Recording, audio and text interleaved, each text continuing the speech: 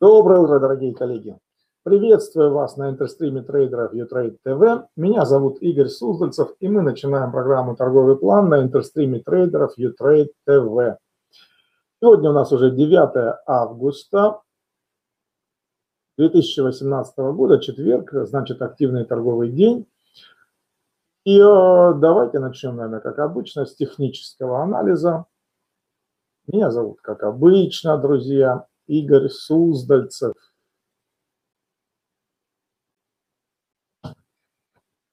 Что-то у нас кресло как-то перекосилось. Август, только этим могу объяснить. Надо будет посмотреть, что там такое. А, вижу. Понятно. Август, время катастроф, это всегда так. Биткоин, друзья, ну, как я говорю, август, время катастроф, вот оно и случилось. Биток вчера провалился, как вы помните, в течение дня. Э, падал достаточно глубоко, удержали его на закрытии вчерашнего дня на 6279. Но не знаю, мне кажется, по, той, по тому настроению, которое сейчас есть, 5856 вполне себе ближайшая цель. Сейчас некоторый отбой, может быть, можно даже постоять в плюс, поскольку некоторый такой рост есть, но такое впечатление, что он быстро закончится новым падением. Во всяком случае, каких-то новостей на рост биткоина пока нет. А с другой стороны, нет и плохих новостей. Кто его знает, может быть, вот этот часовой шпиль и станет началом роста. Тоже есть о чем подумать. Но, честно говоря, пока вот эта свеча не выкуплена, наверное, Вряд ли все-таки. Это получится. В таком случае постоять немного в рост, э, поставить без убыток, э, на мой взгляд, сегодня можно. Все-таки плохих новостей нет, и он поэтому потихонечку карабкается наверх. Точно, точно так же эфириум карабкается после сильного падения. Точно так же лайткоин в легком плюсе, эфириум классик, Абсолютная картина, коллеги, одинаковая. Все провалилось вчера и сегодня слегка корректируется. Манера точно так же в легком плюсе. Э, биткоин кэш в легком плюсе, Ripple в легком плюсе. Не знаю, друзья, мне страшно покупать, я сам покупать не буду, хотя, в принципе, еще раз говорю, можно, да. Я бы искал лучше точку, пусть это будет даже к вечеру, но больше искал бы точку на продажу, а она явно будет. Американский сорт нефти, друзья. Провалился вчера. А ну-ка давайте посмотрим, а как вчера было по запасам нефти. Я не посмотрел вчера. 17.30 запасы нефти минус 1,35 миллиона. 1,3 миллиона баррелей, да? Ну, скажем так, даже лучше, чем ожидалось. Ожидали минус 2. Ага, ага. Ну, понятно. Тогда, в принципе, понятно, почему минус 1 рынок не впечатлил. Это понятно. Давайте посмотрим, что произошло в 17.30. Вот 17.00, вот 17.30. Да. Рынок чуть-чуть развели наверх, а потом кинули вниз. Ну да, в общем-то, небольшие, прямо скажем, были запасы. Ну, это отметка, э, которую мы отмечали с вами а, от 13 июля. Она удержалась. Вот это, мне кажется, удержала. 66-63 удержала. И сейчас мы на ней стоим. Но поскольку э, эффект действия от э, данных, которые не понравились, длится обычно сутки. Я думаю, сегодня вполне могут пробить ниже. Хотя после такого глубокого прохода может быть и коррекция. Давайте посмотрим, какой это глубокий проход. Закрылись вчера на 2 доллара 27 центов ниже. Ну, понятно, да, начали с уровня 68, закончили на уровне 66 с копейками, да.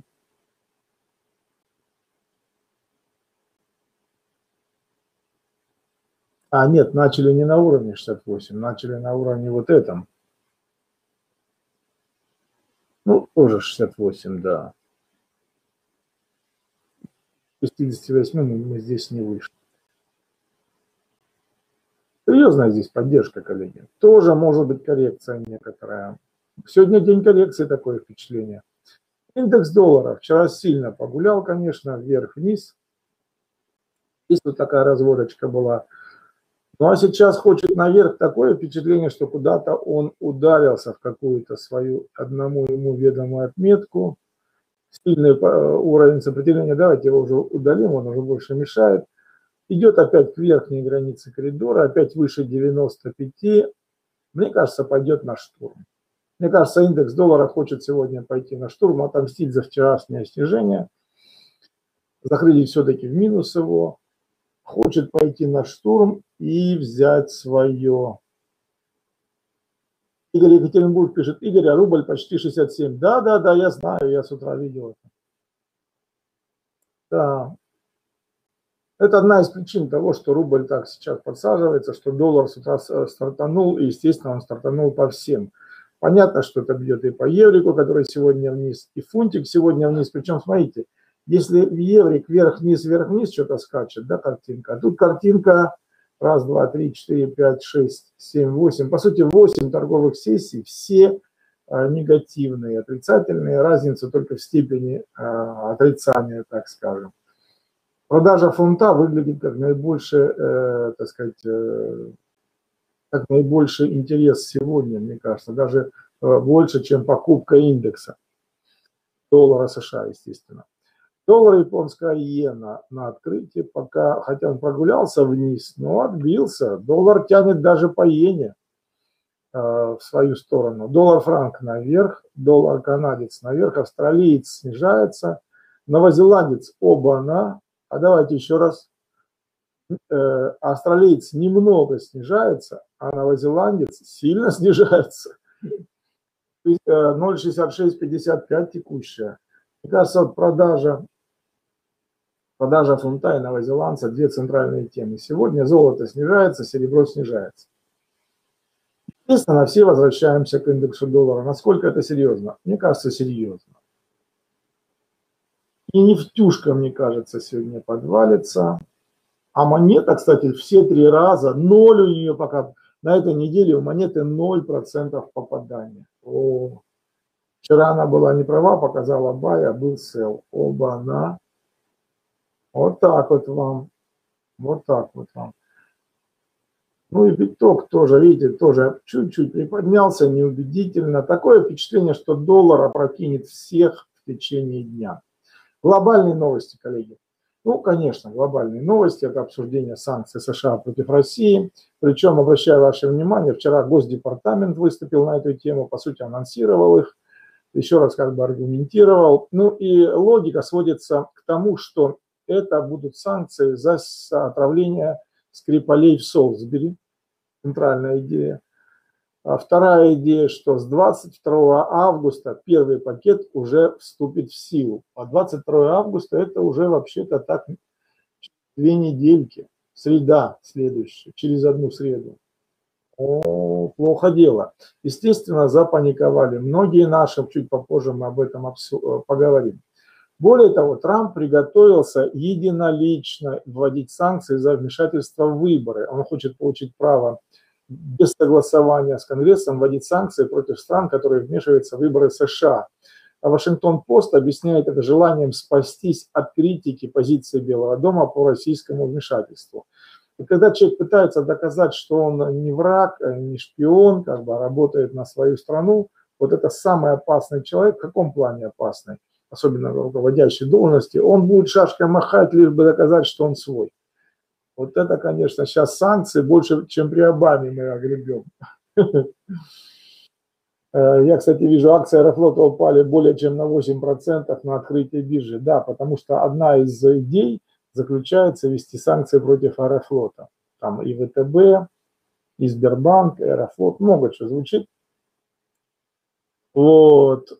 Э, регулятор, друзья, начал проверку после твита Маска о выводе Тесла с биржи.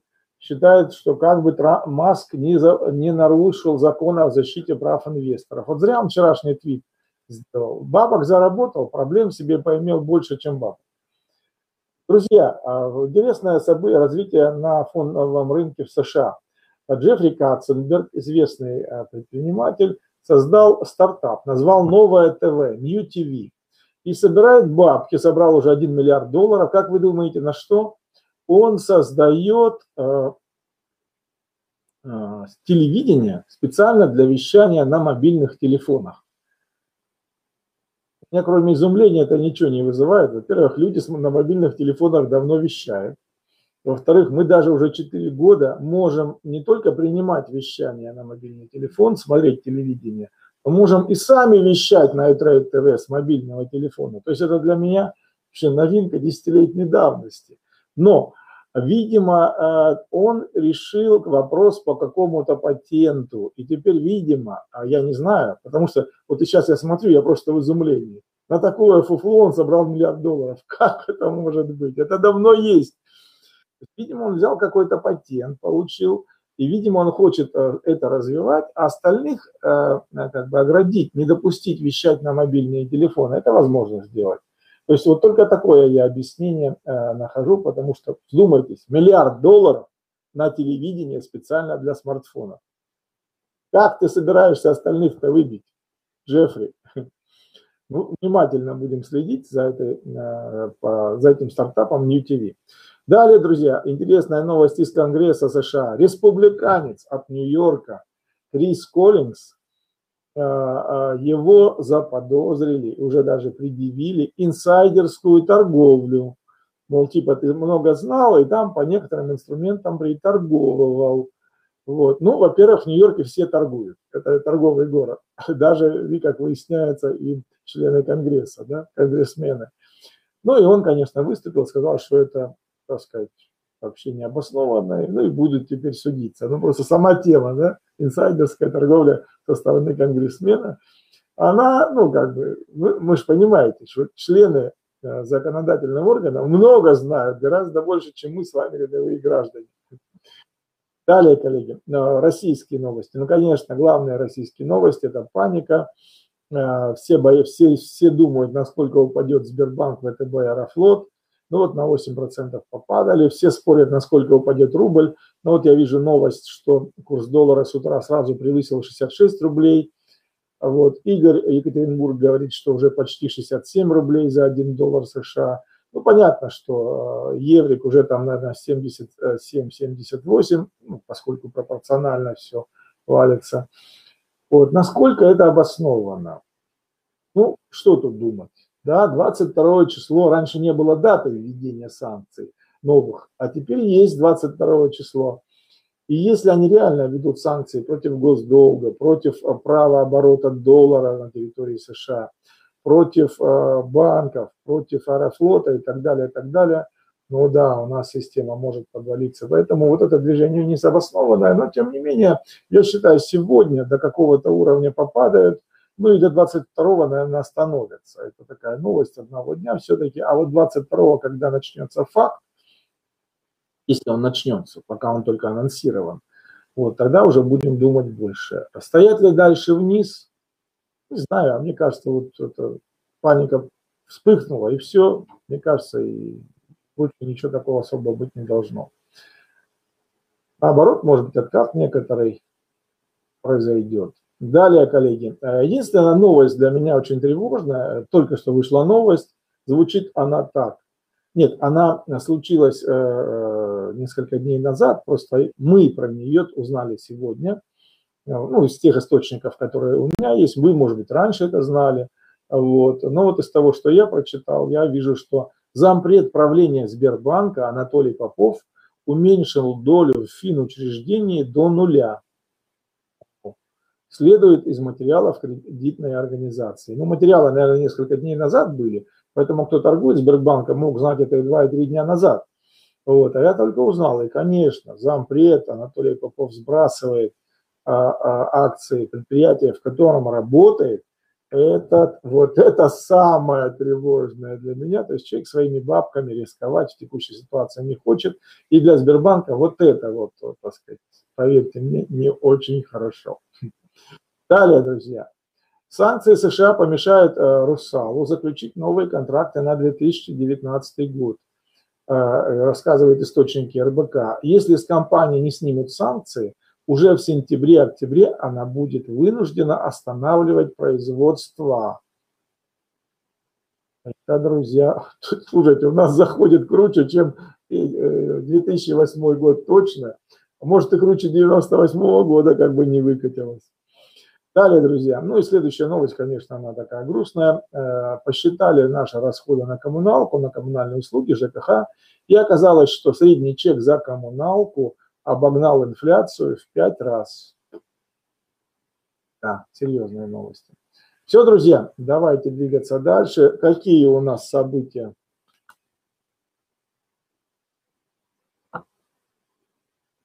Какие у нас события на рынке нефти WTI? Две стороны у монеты, мы бросаем и спрашиваем. Опа, и смотрим. Цел видит монета сегодня. А слушайте, ну неужели на этой неделе, э, мне даже интересно, будет неделя, где монета все, все дни была не права. Три дня она, вот, три дня первые э, этой недели была не права. Мне интересно, такого еще не было. Э, минимум был два раза. То есть 40%, ниже 40% я не помню случая, чтобы спускалась, так сказать, э, доходность. Вот. А если, если снизится, э, если покажет, вернее, 0, да, да, 0 показателей за неделю, это будет ну, антирекорд своеобразный. Так что внимательно следим. Сел монета показала на сегодня – Далее, друзья, макроэкономические показатели. А, сегодня у нас в Сингапуре выходной национальный день. В Новой Зеландии дали решение по процентной ставке. 11,75 было, 11,75 осталось. А, вот поэтому, наверное, и подвалились. Рынок плохо принял эту новость. Это новостное движение, друзья, по продаже новозеландца. Я обращал ваше внимание. Сегодня у нас ежемесячный отчет ЕЦБ через 26 минут ну, как-то рынок дергается иногда на этих новостях. Общее число лиц, получающих пособие по безработице в США 15-30. Ну, число первичных заявок, естественно. А, пожалуй, все. В общем, ничего особенного сегодня в новостях нет. Достаточно спокойный день, друзья. Подводим итоги. Из того, что я сейчас вижу на рынке, на мой взгляд, индекс доллара вознамерился сегодня серьезно сделать камбэк. Он возвращается уже 95-12, лезет наверх. И, на мой взгляд, сегодня он может настоять на своем и даже пробивать э, э, какие-то уровни наверху, горизонтальные, нисходящие, э, треугольники, признаем мы их или нет. Мне кажется, индекс доллара лезет наверх. Поэтому, исходя из этого, и торгуем, покупаем доллар. Относительно тех инструментов, которые вы считаете покажут себя слабее всего. Спасибо всем, друзья, за участие в утреннем эфире. Всем удачи!